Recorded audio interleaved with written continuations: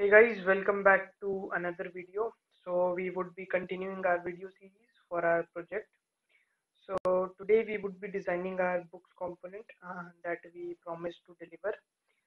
So in here, if you could see, here is the list of books and the book filters that are associated with those uh, books and uh, we get a glimpse of those books uh, over which we choose according to the filters okay for this requirement, we need to create a books component or what we could say is in the backend, we have to create a book object.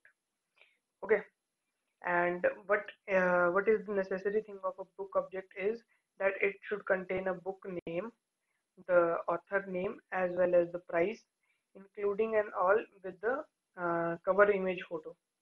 Okay.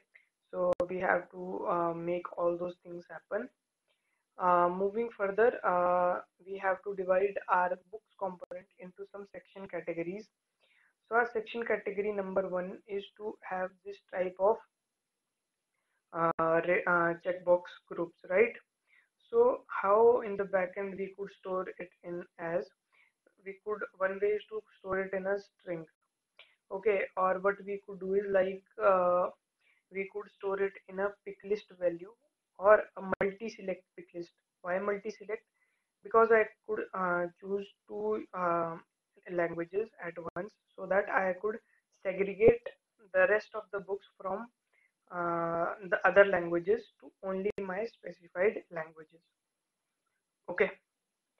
Next category is the category for your books this is like the action adventure uh, arts and films and photography.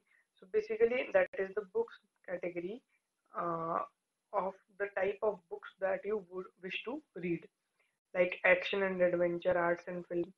So in this there is no uh, multi-select pick list there would be just a simple pick list so that if we could uh, we could choose only one value at a time okay so uh, this was it for the initial requirements and now let us create this uh, object in our Salesforce.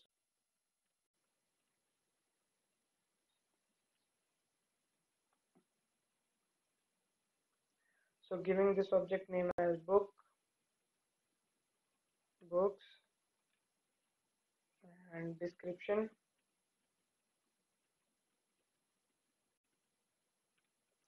that is used to store our uh, books information okay? And uh, record name is book name and the data type is text because we would be entering the book name uh, on our own. And uh, we need to have a report on this as well and uh, search as well. Uh, and we would be launching a new tab wizard so that we could assign this a tab so choose a tab style of your type. So let us see that is there any kind of thing that is uh, referred to as a book? Yeah. See this is books.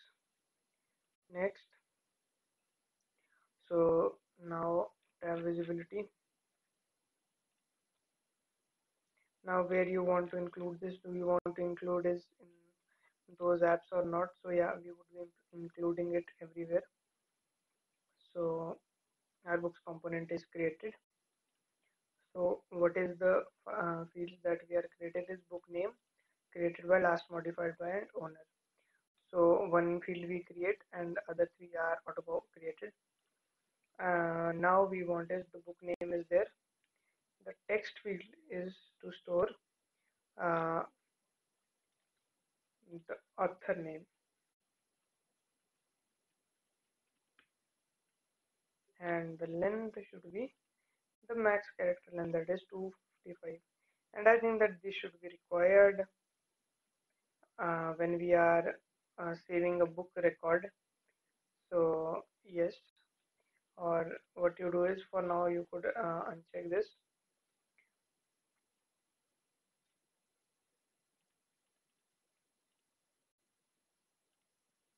the author name is arrived.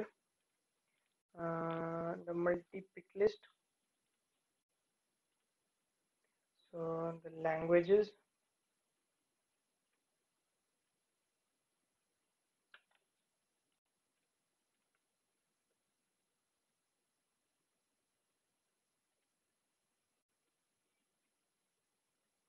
English, Hindi, Spanish.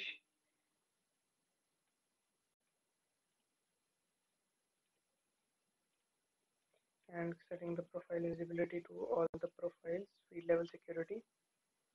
And the pick list is created. Now, now we want to create a pick list field, simple pick list field that would store our category, book category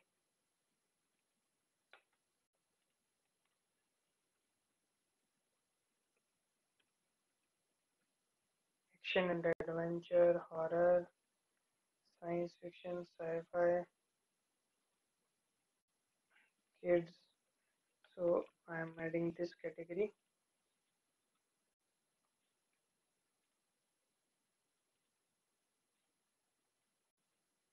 And the last category that is I am adding is, uh, yeah, you have guessed this right, is the currency. So I would be writing the price price of books.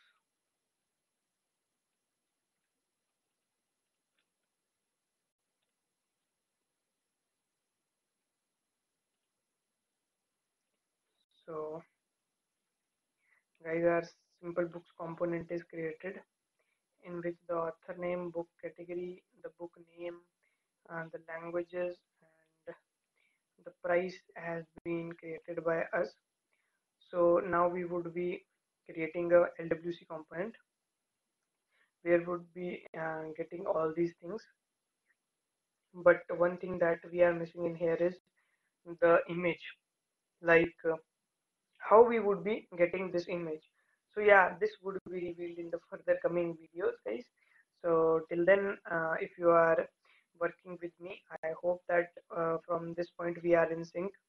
So if you are have not created this Uh, I request you to create this so that yeah you have a learning experience with me as well. And thanks for watching and happy coding guys